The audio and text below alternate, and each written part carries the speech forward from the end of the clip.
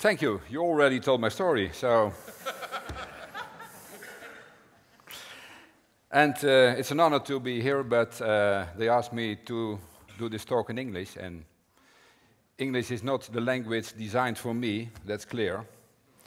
So I try to do it from, uh, from paper. I hope you understand a little bit. Um, ah. No worries, it's not a bloody story. I'm the vegetarian butcher, you know, you've already heard. for me, it was clear design can change the world. That for me was the most promising, um, uh, the most important promise 10 years ago when I started the vegetarian butcher. I started it for my own need. I was a meat junk, totally hooked on the taste of meat. Growing up on a farm on the Dutch countryside among the cows and fattening bulls, Three times a day, a meal with meat. A life without meat? No way, never.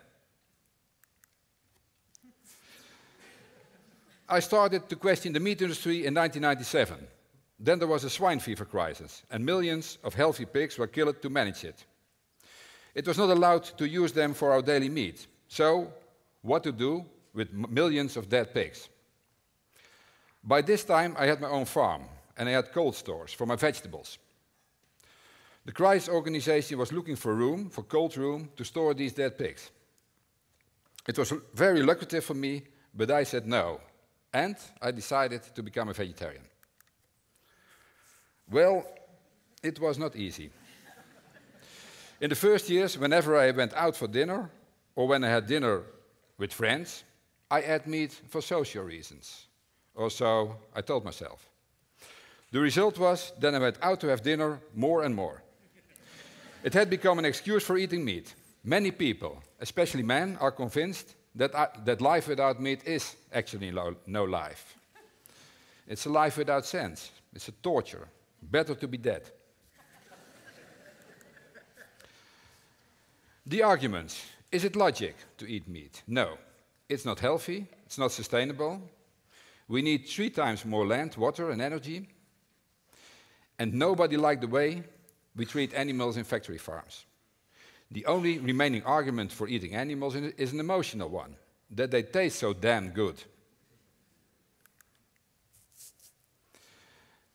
About the use of animals for meat production. We are talking about intelligent, sensitive beings that can experience pain, stress, happiness, who by nature are very observant, playful, and energetic and how this system actually turns pigs, for instance, into meat machines.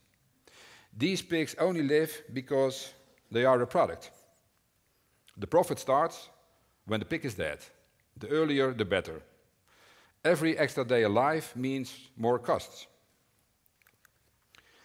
If we were able to design a pig in the shape of a sausage, without legs, without ears, without a brain, without emotions, without pain, but only fast growing meat, we would start doing it tomorrow. It's very efficient. You would only have to cut it in slices. To produce our vegan chicken, we use a machine that fits into the living room of a normal house. It's the size of a car. That machine is an output of 1 million kilogram vegan chicken meat a year. To, to, produce the same amount of real chicken, you would need a mega chicken shed as big as a soccer field 100,000 chickens in it, replaced eight times a year. I'd always been interested in technique and technical solutions. A few years ago, I read a book about the history of tractors, and I saw a clear parallel between our chicken machine and the first tractors. A hundred years ago, millions of workhorses, draft horses, were working in the fields. Nowadays, the draft horse is threatened with extinction because we don't need them any longer. They have no function anymore. My hope for slaughter animals is to go extinct as soon as possible because we don't need, we don't use them any longer. Tastier, healthier, and cheaper vegetable meat can change the look of the earth. All of nature, all of rainforest that we have destroyed can be restored. We'll have a landscape without megastables. This vision was so exciting to me that I started to work on it. That is how I started the vegetarian butcher 10 years ago with lupine. Lupine is a crop that historically grows in the Netherlands. It was used for animal feed, but disappeared in the 50s of the last century. It contains more protein than meat, 40%. It's very nutritious and known for all kinds of health effects. The only problem was it doesn't taste like meat. We worked with top chefs, top butchers and technicians to get it tasty, and we succeed. It went to work. Nowadays, we work with different kinds of plant-based sources. Soy, peas, wheat, beans, with all their own quality in taste, texture, and nutritional value.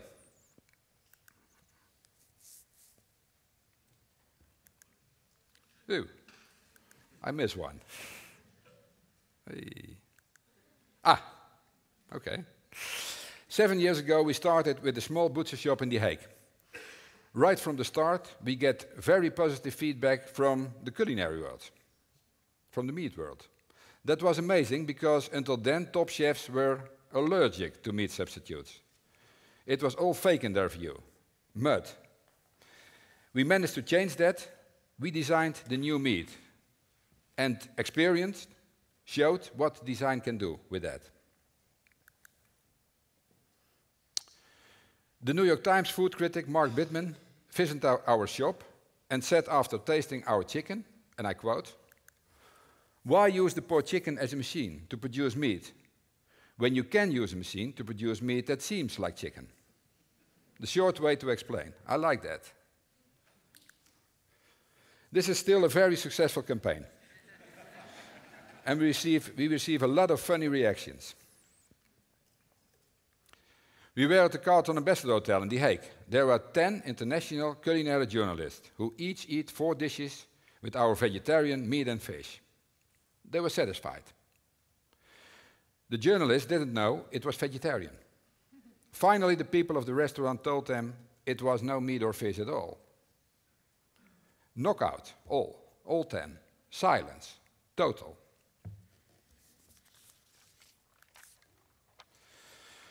The Telegraph, the biggest newspaper in the Netherlands, challenged us to participate in a meatball contest.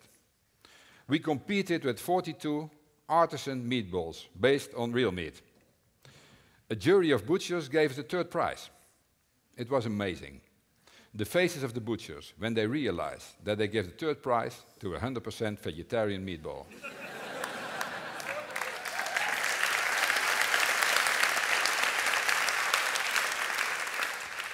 Too bad that we did not take a photo of their faces. it would have been on top of our wall of fame. Complete disoriented all. We are a small company, but on Twitter, Facebook, and Instagram, we are the butcher with the most followers. Virtually, we are already the biggest. And we aim to become the biggest butcher in the real world, in the meat world. All we want is to take over the position of the current meat industry worldwide. A simple goal. Social media keeps us sharp, and we had a lot of fun with it. This is art with our sliced lunch meat. I was 100% at peace with myself in my new job, only slaughtering carrots. But then, by social media, you get such a picture.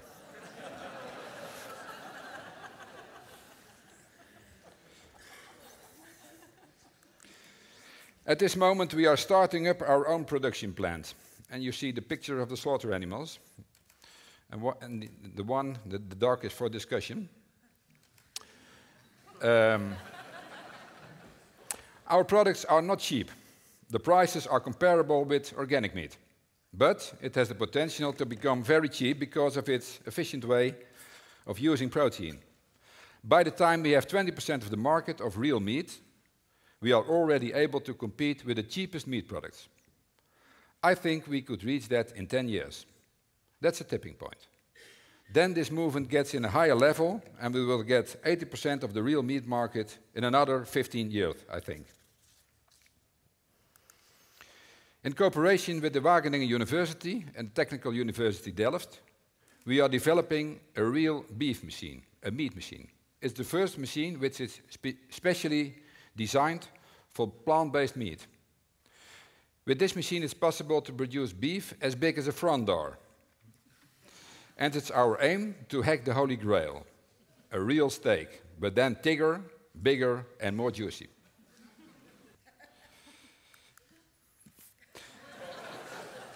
this is the raw material right from the machine.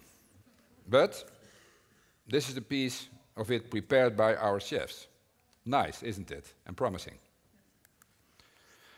April the 1st, we opened our first restaurant, and now I know it was not a joke, called the Meat Lobby. It's a great next step. Our products. Sorry. Oh, he's gone. Well. Oh, no, this is a, this is a, a, picture of the wall of the restaurant. It's, uh, it's okay. It's another one than uh, the first time.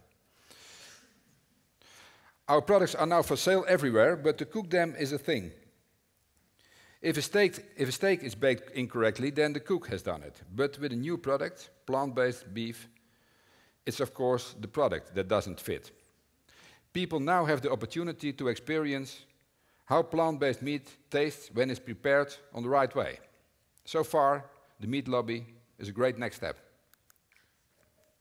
Einstein said nothing will benefit human health and increase the chances for survival of life on Earth as much as the evolution to a vegetarian diet.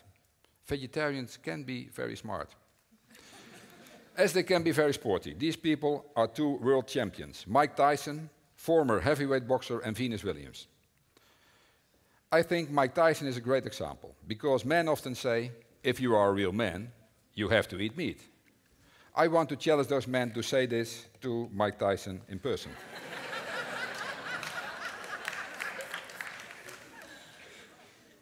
Another smart person, person, I don't know if he's very sporty, Bill Gates. He invests in meat substitutes and really believes in them. The future of meat is plant-based, he said. Moreover, the founders of Twitter invest in a meat substitute company in the USA, which is called Beyond Meat. But nothing new in history. These three unique thinkers had real respect for animals. They become vegetarians in their age. Pythagoras, Leonardo da Vinci and Gandhi. Speaking of the past, I thought the philosophers are the people that conclude that respect for animals is logical. But what I found in history of vegetarianism are famous technicians. They are the ones who become vegetarians. Here are three famous ones Henry Ford, Edison, and Tesla. My conclusion I feel myself more connect with the way of thinking of technicians than to the logic of the philosophers in the past.